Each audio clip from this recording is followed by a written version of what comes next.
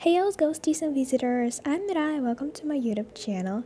And in this video we are going to talk about two upcoming suits aka the Ruin Girl event and $5 recharge monthly card suit Splendid Opening.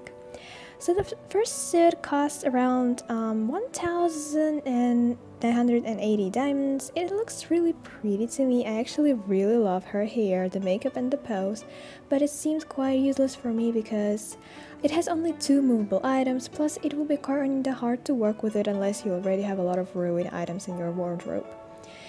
Just for me, seems one of those suits that are beautiful but useless and they will be just in your wardrobe unless there is a specific contest theme for it or you just want to use it, that's not a must-have suit. So if you have way too many suits in your wishlist and not many diamonds like I do, I would say that definitely skip this suit even though it's pretty, but skip. Yes, definitely skip.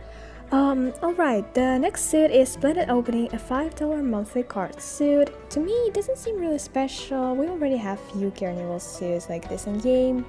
But the only thing that actually caught my attention here is those beautiful lights. I think it's kind of worth it for such a low price to get a light item. Also, the important note here that it's dark skin tone pose. It will be a dress pose because dark skin tones are impossible to handle with hand poses. This is a very important thing. This is the reason why we are probably not getting the separate hand pose in the dark skin tone or fantasy skin tone version. You pretty much see it already. Uh, so even though this suit, this carnival suit looks like it has the separate hand pose, it probably won't.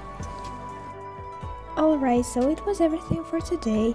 Please let me know in the comments below if you liked the new video format and if I should keep making this kind of videos but a lot longer. Also, don't forget to subscribe to my channel and like my videos if they were useful. Goodbye!